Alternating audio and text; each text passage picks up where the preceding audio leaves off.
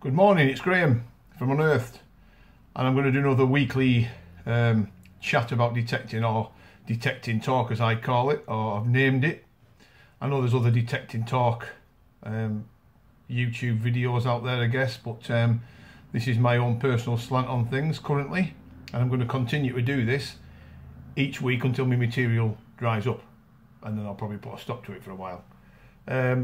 So it's it's aimed at giving people a little bit of advice, uh, the current scene as I see it, and of course, of course, I've just set this off.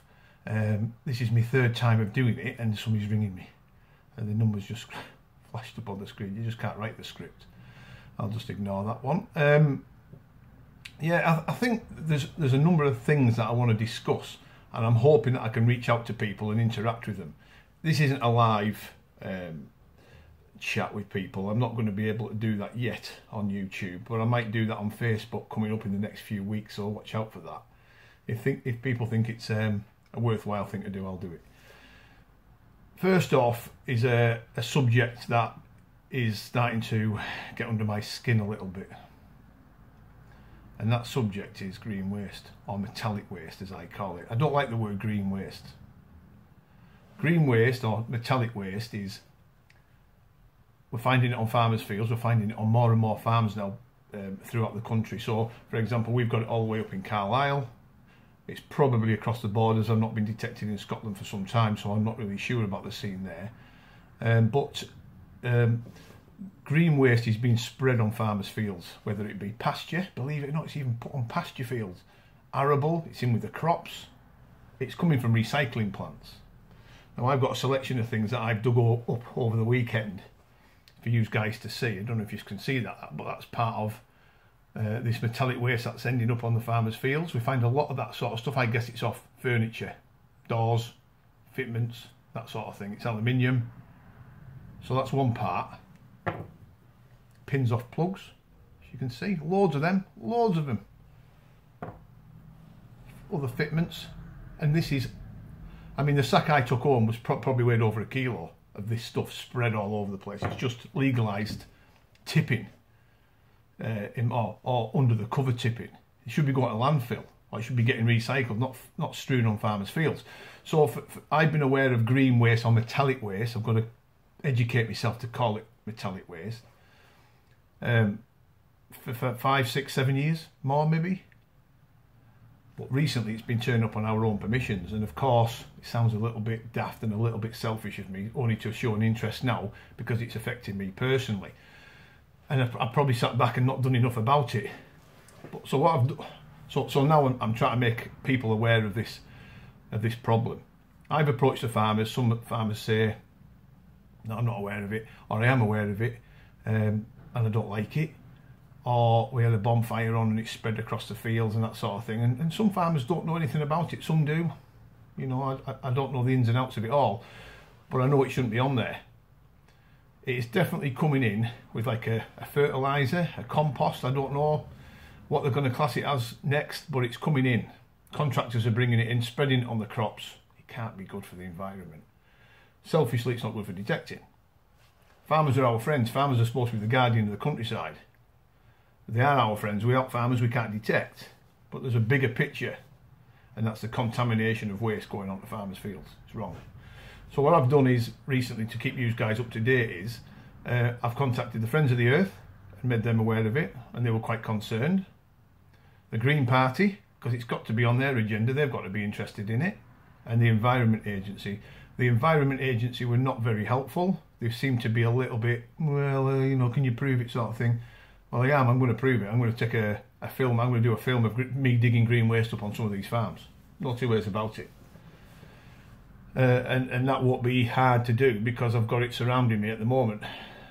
I've got two fields here of my own that I own, five acres or so, four or five acres. And it's the only field in this area that hasn't got green waste on. Make of that what you will. So it does say, well, it's not going to be hard for me to nip out with a detector and show how much green waste is on, on fields surrounding us. But it's a bigger picture. It's all the way down in Dorset, it's in Norfolk, it's in Lincolnshire, it's in it's in Chester, it's in the northwest, it's in the northeast. It's all over the place. It's coming in. So we need to be making aware. So what I'm saying to people is, contact the Friends of the Earth and make them aware of it. Contact the Environment Agency and make them aware of it. Contact the Green Party and make them aware of it. There's somebody, a gentleman called Matt Lightfoot uh, from the Northwest. He's NCMD, I think, regional. Really good guy, and he's he's on the on, on the case of it as well. Um, he's bringing it up at regional meetings. He's making people aware of it. Uh, so he's doing a really good job, His Mark. And William Hargreaves as well from the Northwest. I think he's a Lune Valley guy. He's also very passionate about green waste. He doesn't like it. It's got no place in farmers' fields, and he's also doing reports, I think reports, but he's also doing presentations to groups about green waste. So, you know, if, if these guys can start that process off and grow it. And I know the NCMD nationally have done some good work around um, metallic waste, green waste as well. Um, and I think personally that they need to continue that good work.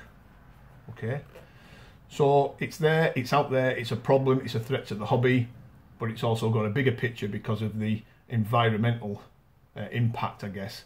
These fields have, have done very well for thousands of years growing crops in without bits of metal being mixed in with the crops. I was finding batteries, um, that's in this bag, screws, aluminium screws, everything, you name it. Now it does come out a tarnished colour. So to, to, to, to some people, got me tongue tied a bit there, to some people, it looks like it's Victorian night soil waste, whatever they class it as. It's not.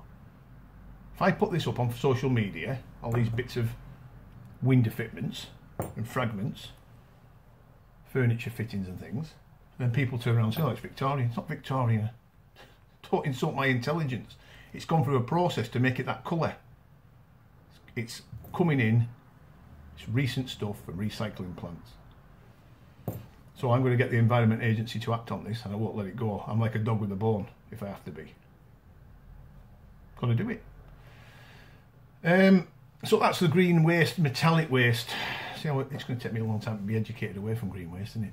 Keep calling it metallic waste. That's a metallic waste uh, info for you guys. So use just the same as me, detectorists out there, do your bit. Uh, secondly, is uh, something I want to bring up is uh, and I think this will be quite important for people, is in the age of social media uh, and the age of interaction on computers, um, Facebook, Instagram, YouTube, I guess, all these little outlets, people are meeting each other, talking online, which is good, makes the world tick. However, just a word of warning, I would be careful out there, guys who you're talking to. You don't know these people on the other end of a computer. There's people getting invited out on days detecting. Now come down with me for days detecting down in Shropshire, Lincolnshire, Norfolk, anywhere. Um, and people are going blind. They're going to meet these people to detect with them for a day. They don't know them. They don't know them from Adam. They could have anything background wise. So what I'm trying to say is just be careful who you're invite who, who's inviting you out and who you're detecting with. Check them out first. Do your homework on these people to make sure they're 100% genuine. Because you just never know. You know, it's not a sweet, innocent world that we live in, unfortunately. So you've just got to be a little bit aware of who's out there and what goes on. So do your homework, do your checks. By all means, do it, but I wouldn't go blind. You know, there's women detecting now. There's a lot of ladies coming into the hobby. Um, you've just got to be a bit careful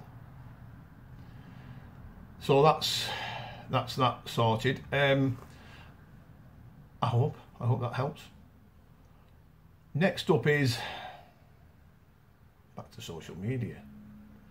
Now, for years and years, people have been detecting. I started in the 80s, where we just we were just given a pamphlet with a detector. There was no social media to give you advice. There was no YouTube. There was no Facebook. There was nothing. There was no nothing to give you advice on using a detector other than reading the little paper pamphlet that you were given, get out in the fields and learn it yourself. This day and age, people have got so much information, it's brilliant. The info, the info's brilliant. You've got loads of it at your disposal. Too much, probably. But what I'm trying to say is this learn your detector. Don't listen to all this hype. And there's an old saying if a machine's good enough, it'll do the talking for itself. It doesn't need to be hyped up. If it's a good machine, good detector, then it'll do the business for you in the fields. It doesn't have to be complete, uh, continuously recycled each week on social media how good it is. Telling I told you how good this machine was. Every week it's the same crack. People are not thick. They do the homework themselves, they learn a machine, they do well with it, happy days. They don't need to be constantly reminded on Facebook, on these groups, about how good this machine is and how inferior everything else is. So what grinds my gears is this. We sell metal detectors to guys. We try to give honest opinion on machines. If a, if a certain machine doesn't match their style of detecting or where they detect at, so for example, I wouldn't necessarily put a, a high, highly sensitive, fast responsive, you know, really quick recovery speed detector out there for people to use on deep pasture. I wouldn't do it. In amongst the iron and on arable land, we would. So it's matching a person's uh, permissions and the way how he detects and where he detects for that particular machine. So we're selling quite a lot of certain types of machines, and what we're finding is people are, you know, they're taking them uh, first steps out out into the field to learn it. I'm giving them as much advice as I possibly can on how to get the best out of the machine, and some people are doing quite well. Others are taking a little bit of time, which you would expect, because they probably haven't got the history on them particular farms that they're detecting on to find a lot of gear. but that'll come within time. But then they're going on rallies, turning up with a new machine, proud as punch on rallies, setting off. Within half an hour, somebody's coming over to them. You don't want to be using that machine there, you want one of these. This is the new kid on the block.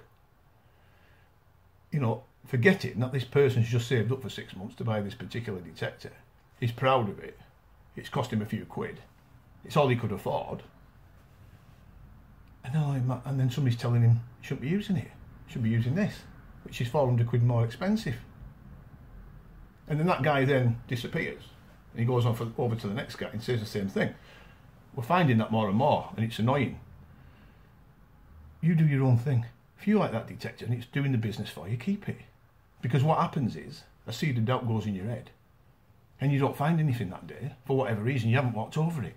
And then you're driving home and you're thinking, oh God, have I bought the right detector? Maybe that guy's right. Should have bought one of them. Nothing wrong with that detector that you've bought. It's perfectly fine. Does the business. Does the business just as much as the other one does without the whistles and bells but it's putting that seed of doubt in. And I think these guys out there doing this are driven by dealers saying, get my sales figures up. I want to sell more of these, get out there and do the business. So you'll see every couple of weeks this same thing churning over and over. Buy this detector. This is the one to buy. I told you it was the best. But it's the same crack. You said that three months ago. You said it six months ago. You said it four weeks ago, two weeks ago. A good detector doesn't have to be hyped. It does, it does the talking for itself. So it's as simple as that. So that's all I'm going to say on the matter. Um, it's not meant to upset anybody. It's not meant to cause friction. I'm telling you as it is, from my personal, you know, it's my personal opinion, and it's probably right. Whether you like it in the court like today, it's probably right what I'm saying. lastly, uh, I want to make a mention about uh, our our Facebook group. I'm not going to mention about the talk and draw because that's dealt with. that's going nice and smoothly now. But um, there's two things. Uh, we're going to be doing weekly competitions now leading up to Christmas. Free giveaways just to say thank you to guys for posting your stuff up and interacting on the group. Um, it's growing now. We're going to cap it. We're going to cap the group at 10,000. I don't want it any bigger than 10,000. And the reason is it's hard enough now as it is with six and a half thousand on it to manage between us and the myself, Melanie, and the admin team who are doing a great job. But it's taxing on people. As your groups grow bigger, it's attracting more and more different sorts of people in. So we're having to manage the group much quicker now, much more responsive. There's one or two undesirables that are coming in and being disrespectful to people. They're disappearing now. I'm getting rid of them straight away. I'm not even calling them out. They're just getting deleted um, because they're being rude. People are, are working hard in the fields all day on a Sunday or a Saturday. They're coming home. They're posting all the fines up, and somebody says to them, "You didn't find all that that day." scrap. Have you been on eBay? It's that sort of disrespectful thing I don't want on the groups. So we're just going to delete people. We're not even going to call them out anymore. So you imagine having a group of 20,000, 30,000. It'd be a nightmare. So 10,000, it's capped. That's it, straight off. But going back to the groups, I've just kicked the underside of this desk, so I do apologise if, if you heard a bang. My size 12 feet, booting everything in sight. Um, going back to this, so we're going to do live, not so much live, but we're going to be doing weekly uh, competitions to give away. Uh, we have some water bottles, camel water bottles that are really good out in the field. You can carry them around with you on your belt or your, your pouch. We're going to be giving some of them away and other bits and pieces. So watch out for these competitions. Um, and lastly, a big thanks to, I think we're finished. We are finished, I think.